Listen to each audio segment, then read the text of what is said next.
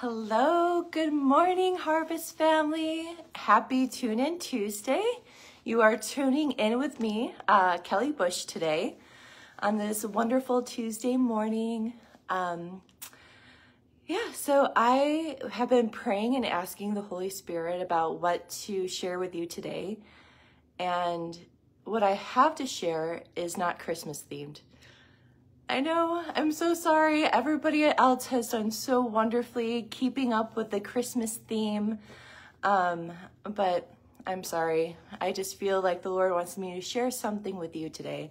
And it is not a Christmas theme. So please forgive me for being rebellious and not keeping with the theme. But I do have something I want to share with you today. So the scripture that I want to share is Psalm 119 verse 11. And the scripture says, For I have hid your word in my heart that I may not sin against you. Have you hidden God's word in your heart? And do you continuously hide God's word in your heart? Um, to me, hiding God's word in your heart means that you read it, you meditate on it. You memorize scriptures. Like, so when it's inside of you, you believe what God's word says about, or you believe what God's word says is true, and you have it inside of you. Um, so, have you hidden God's word in your heart? And are you continually hiding God's word in your heart? Um, I had a conversation with a person a couple of months ago, and it has really just impacted me, and I can't get the conversation out of my head. And I feel like the Lord want me to share the conversation that I had with you all and the lessons that I took away from this conversation. So I had a conversation with someone, and to give you some context, this person is a born again Bible believing Christian, um, filled with the Holy Spirit, speaking in tongues, has faithfully attended church every Sunday, um, went Wednesday evenings for probably over 40 years or so, um, always attending church whenever the church was open. Um, this person states that they uh, faithfully read their Bible, they watch podcasts. So this is a seasoned believer, right?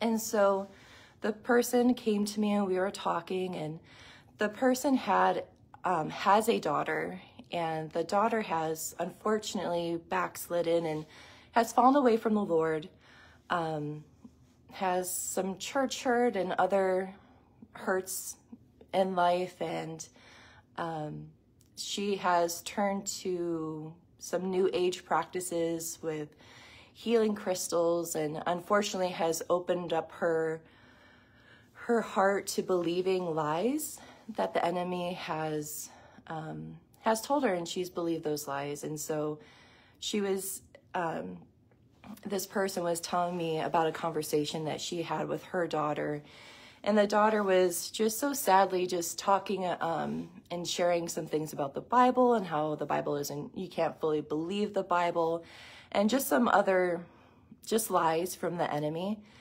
And the the lady I was talking to, she was so distraught, not just because of her daughters believing these obvious lies and is heartbroken about it, um, but she really didn't know what to say to her daughter. And so, you know, I let her say what she was saying and and then I gave her some advice and I said, okay, well, if it was me in that situation, um, did you retort back with scripture? Like when she said, oh, you can't believe what the Bible says because the Bible is um, written by man. Well, we know that's a lie. Second Timothy tells us, for all scripture is God breathed and used for the correcting and rebuking the teaching of scripture. And that God's scripture is alive and active, is sharper than two-edged sword. And, you know, some other scriptures that I shared with her. And I said, well, did you think about those scriptures to to kind of like retort because we know that from jesus's example that when jesus was in the wilderness and the enemy came to tempt him the that jesus was saying okay no get away from me satan for it is written and it would speak scripture so whenever the enemy comes or these lies or whatever um, we say no no devil the Bible says, for it is written, and we retort back with scripture, right? At least that's what I have learned and what I do. And so I shared this with her and she and she's like, "Oh no, I I had never heard those scriptures before. I didn't even know they existed." And so she wrote them down and some other stuff that the daughter has said. I'm like, "Well, these are the scriptures that came to my my mind when she was saying these things and I shared those scriptures with her. And she's like, Oh, I never heard those before. That's really good. And, and she wrote it down and whatnot. And I, and I thought to myself, isn't that weird? Like, that's kind of odd that she didn't know these scriptures. To me, they're just very common, like everybody who has been in the church for a couple of years should know these things. And this woman has been attending church longer than I've been alive. So I'm like, oh, that's so weird to my, you know, I'm thinking that to myself. I didn't say that to her because that'd be rude. Um, and then she was telling me about when she goes to her daughter's house that um, in her daughter's bedroom, she she's a nurse, and so my daughter, so the the lady, she when she goes to her daughter's house to watch her grandchildren for her when she's working, um, said that when she goes to her daughter's bedroom, she just feels this really creepy feeling. And she's like, oh, I just, I don't like going into that room, but I have to. She tries to help her daughter out and does her laundry. So when she goes in to put the laundry away, she's like, I just get this really icky feeling. And she's like, I think it's because her healing crystals and some of that stuff she goes to, the psychic is in there. I'm like, oh, okay. Well, you, I said, you, you know that anything that not is God is of the enemy. So healing crystals we know are part of the New Age movement, and that is not of God. That's witchcraft, that's evil things. So that makes sense. So there's probably some type of demonic entity that's that's over there. I said, well, you're a Christian, right? You've been filled with the Holy Spirit, so get that devil out of there when you're there. And she's like, oh no, I, I, I don't know how to do that. And I was so awestruck. I'm like, oh, so then I shared with her that I said, well, in Luke 10, it says that God has given us the authority to trample on snakes and scorpions and, and all powers um, of the enemy and not be harmed. I mean, Jesus tells us that we will do what he did, and he casted out um, demonic spirits and, and devils, that we're going to do that too. So if we believe what the Bible says, then we can cast out demons also. And so I told her, I said, well, when you go back over there, get that devil out of there. And um, she's like, oh, I, I, I just, I, I, don't know how. So I'm like, okay. So then I shared with her um, what I would do and what I've done in the past and how to get rid of the enemy and cast out an evil spirit. Um, so, but then, and then towards the end, I ministered to her and I prayed with her and everything. And then when I got done with the conversation, I sat back and I prayed. I'm like, Lord, that's so baffling to me.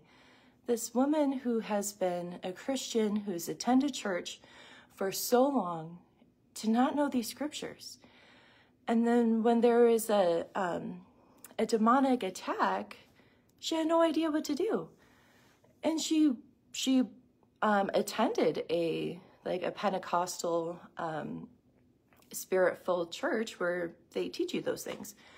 And so I'm like, Lord, why why is that and i just i couldn't get i couldn't shake the feeling that it just seemed strange to me um and i felt like holy spirit said it's not enough to just attend church on a sunday morning. You have to hide my word into your heart. And so i just was so struck and back by that and the lord taught me some other things. But so I just wanted to share with you, church family, that it's not enough to just come to church on a Sunday morning.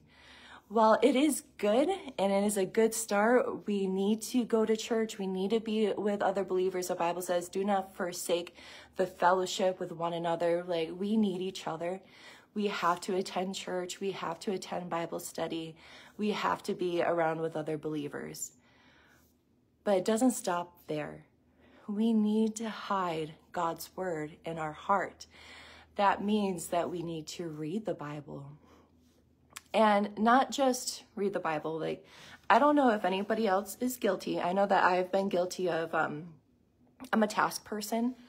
Um, so I like to go about my day and check, you know, my, my list off and my tasks off. And, and sometimes I'm like, okay, I need to read the Bible today. I'm like, oh, okay. So I get my Bible app or get my Bible out. I read the portion of scripture. I'm like, okay, done, check, done. And that's not good. I mean, it's good. Nothing will go void, but that's not studying scripture. That's just saying, okay, this is my duty of what I need to do, and I'm just doing it to check it off a list. And I'm so guilty of that. And I don't know if anybody else is too.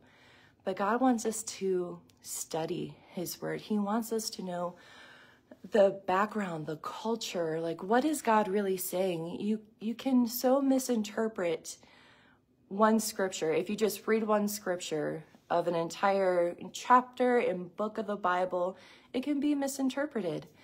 Um, and just like my my friend that I was talking with and her daughter, um, she has just heard scriptures and was told there's so many wolves in sheep's clothing. Um, Pastor was just talking about that and how we need to know what God's word says so when these people come to put doubt inside of us, when the devil comes and whispers those lies to us, we can say, well, wait a second. No, that's not right because God's word says this.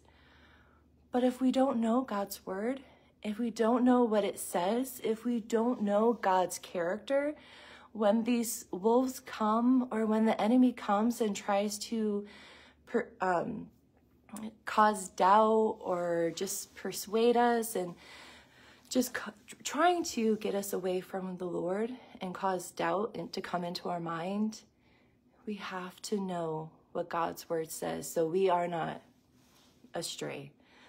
Um, and when the enemy comes, because we know life is hard, right? Sometimes life can just be hard, and we need to know what God's word says and fight.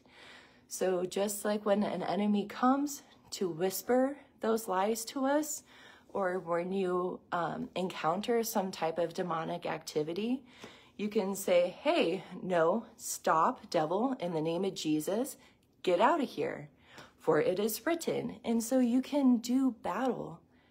And when I remember Pastor Ron's sermon a while ago, and he was talking about the, the armor of God and what they all represent. The sword of the Spirit is God's word. And when we um, use our sword by speaking the word of God. So we have to know God's word. We have to know where to get it in order to speak it, in order to um, use our sword. It's so important, my friends. Fam, we need to hide God's word in our heart. It's not nearly just enough to go to church on a Sunday morning or tune into these daily podcasts and listen to this and then just go on about our day. We need to encounter Jesus. We have to spend time with God. We have to spend time in His Word. We need to memorize Scripture. Uh, when I was younger, I had got this book. Uh, it was like a topical book, and um, it was from Joyce Myers, and it had a bunch of different topics in it and then scriptures about that topic. So like one was anger, and then when you're struggling with anger to to um to to speak out these verses. And it was like A through Z, a, a topical reference. So if you're going through something, you know where to um, what scriptures to speak. And oh my goodness, I used to carry that around with me so often when I was struggling with something. Um, if you struggle, like I struggled with fear for so long for so for most of my life And when I was a teenager, I used to put up these um, poster boards and put scripture all over my room. So when I had an attack of the enemy, I could look at those, those posters and then speak those scriptures. For God has not given me a spirit of fear, but of love, power, and sound mind. If God is for me, who can be against me? And just all these different scriptures you put up. Um, so that is a good tool that I used. Um, now, of course, when I was a teenager, they didn't have smartphones. I'm, I know I'm aging myself, but yeah, they didn't have, we had cell phones, but they were like this big brick and, um, mine was a Nokia, like this big green brick. And so I could not search the internet with it. Uh, I could make phone calls and text message, but that was it. But now with the advent of um, the internet, well, they had the internet back then, but it was different.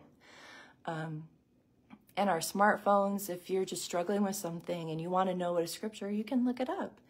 Uh, we have a lot of Bibles have concordances, and there's so many tools that we can use to look up scripture and start writing it down. Like I'm the type of person that when I need to memorize something, I, I have to write it down.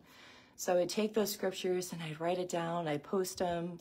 Even still now, if I'm struggling with something, I'll take post-its and I put them on my bathroom uh, mirror. And so I see those as a reminder and what to to speak out loud and what to think and to renew um, to renew my mind. I'm hiding God's word in my heart. So I want to encourage you, my family. I don't want you to be in that situation like um, that lady I spoke about. I don't want you to be in a situation and have no idea what to say. Don't know where to turn to. You don't know where to look. So, my friends, I encourage you, as Psalm 119.11 says, hide God's word in your heart. So when the day comes, you will not sin against God. Spend time with Him, learn His word, study it, memorize it. Even, I know today, look up a couple of scriptures you don't know and start memorizing them. Get them inside of you. It's so important. So important, my friends. So let me pray for you and then we'll see who's on. So, Lord, we thank you and we praise you, Father God. We love you. And we thank you, Lord, for this um, devotional today and this reminder of how important your word is and how important it is to spend time in your presence and to hide your word into our hearts. Lord, I pray that you, as we go about our week, that you would remind us all the importance of your word and to point out and highlight scriptures to us that you want us to memorize and to hide inside of us. So, Lord, we do not sin against you. Lord, we love you and praise you. In Jesus' name, amen. All right, let's see who's on with me today. Let's see. Good morning, Mar uh, Romero and Karen. Ivy, good morning. Good morning, Rose. I hope you have a great day in Jesus as well. Let's see. Kim, good morning. Aw, I love those verses. Amen. Tammy, good morning. Good morning. Good morning, Brother Ron and Marion. Janice, good morning. Eva, good morning. Let's see. Dolores, good morning. Good morning, Judy and Michelle. Albert, good morning. Yes, put on the full armor of God every day. Amen. Amen. Good morning, Pastor Kevin. Hey, Courtney, good morning. All right, well, good morning, friends. I'm so happy that you joined me today. Um, I pray that you have a wonderful rest of your Tuesday, and we will see you again tomorrow morning. Bye.